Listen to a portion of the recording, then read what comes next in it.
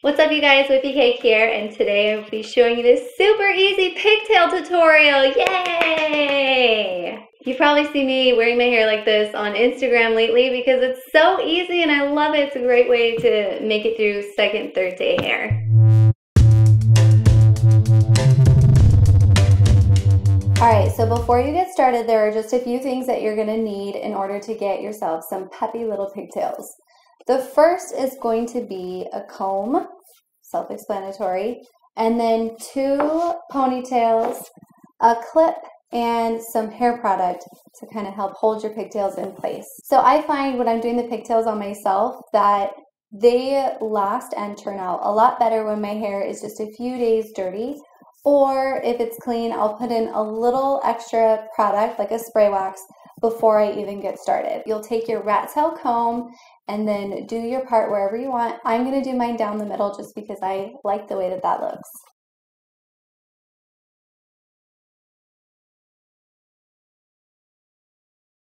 Then you're just going to section off the whole section that you want to put in your ponytail. So I usually do mine about where my natural cowlick is at the back of my head, all the way behind my ear.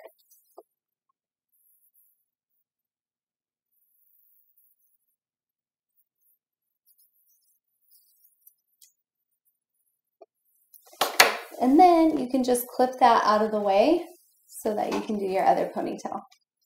Then just repeat that on the other side, but instead of clipping it, you're gonna start to twist it. So I'm gonna do my part.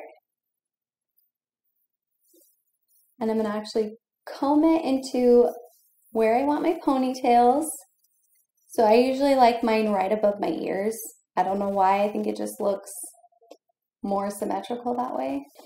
So now that I have my ponytail nice and smooth along my hairline, I'm actually gonna like a lot of times I'll pull all my little baby hairs out because I have a lot I have a lot of baby hairs from when I had my last baby.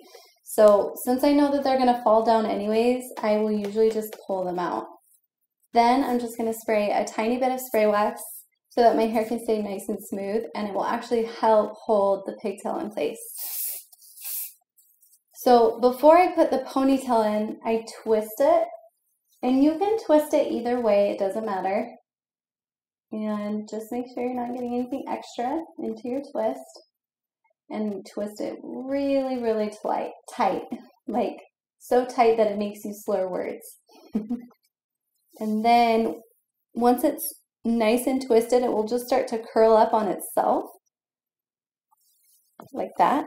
So from here, I keep a tight grip on the tips of my hair so I can um, know where those ends are at all times.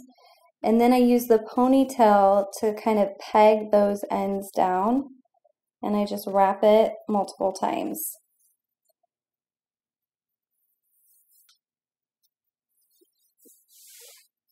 Then you just repeat that on the second side.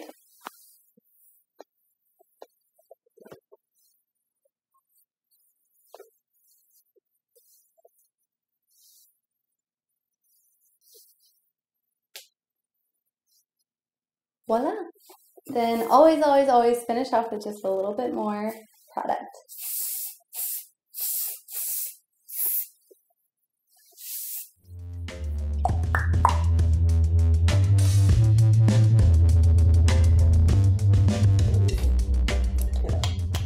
As you can see, that was really easy. I hope you give it a try. If you do, take a picture and tag me so I can see how it turns out. Thank you guys so much for watching. Don't forget to subscribe subscribe, subscribe.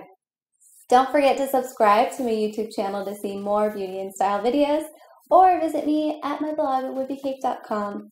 Thank you guys for watching. See you next time. Good? Got it. Wait. Nope. Nope. Got it.